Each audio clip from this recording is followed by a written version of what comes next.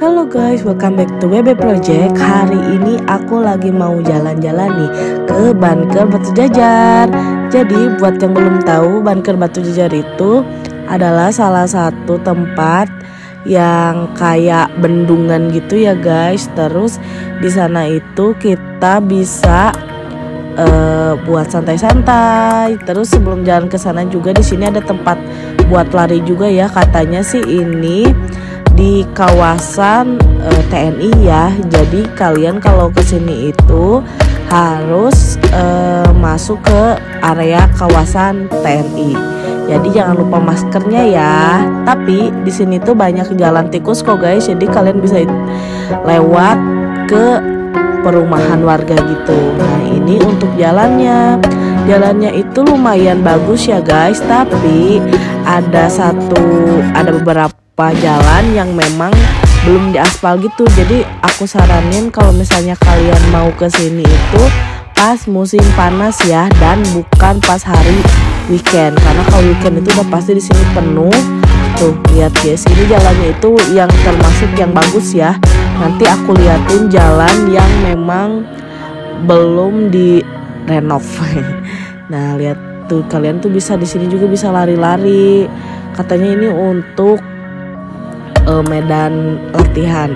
Dan ini lihat jalannya kalau misalnya uh, kalian lewatin yang sudah bagus itu terus ada jalan yang jelek lagi nih kayak gini. Jadi kalau ke sini usahakan kalian itu lagi musim panas ya. Jangan lagi musim hujan karena di sini tuh becek dan agak berbahaya juga tuh lihat guys. Jadi bebatuan terus nggak kebayang kalau misalnya hujan kan ledok banget ya. Tuh tuh tuh tuh, tuh, tuh. jadi di pinggirnya tuh ada sawah-sawah. Tuh kayak gini guys. Tuh tuh tuh. Oh iya, untuk masuk ke bunker batu jajar ini gratis ya. Jadi nggak ada pungutan biaya apa pun. Kalian jangan lupa kalau ke sini sampahnya harus dibawa lagi ya demi kebersihan bersama. Ya ini tuh jalannya sumpah tuh kayak gini guys.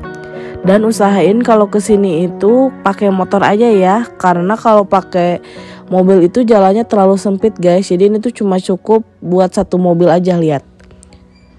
Aku pernah lihat sih di sini juga banyak juga yang suka bawa mobil cuma memang repotnya kalau misalnya ada mobil terus di depannya juga ada mobil wah.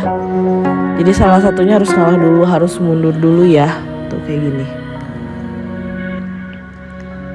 Tuh.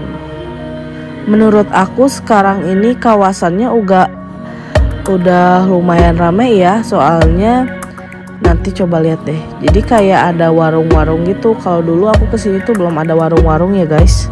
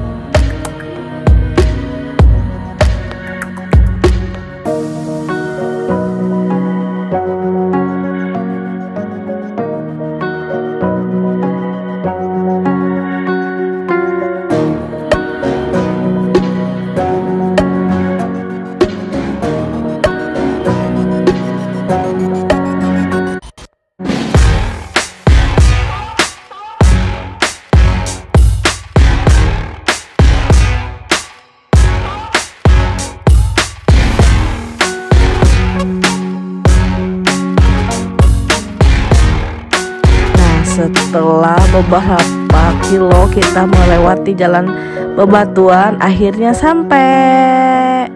Tuh kayak gini. Ini ada kebun jagung. Tuh lihat guys. Aduh aduh, aduh. Tana, tuh lihat. Jadi di sini itu kalian nggak bisa buat camping ya, maksudnya camping yang nginep-nginep gitu nggak bisa. Jadi kalau misalnya kalian cuma mau bawa tenda buat itu doang bisa.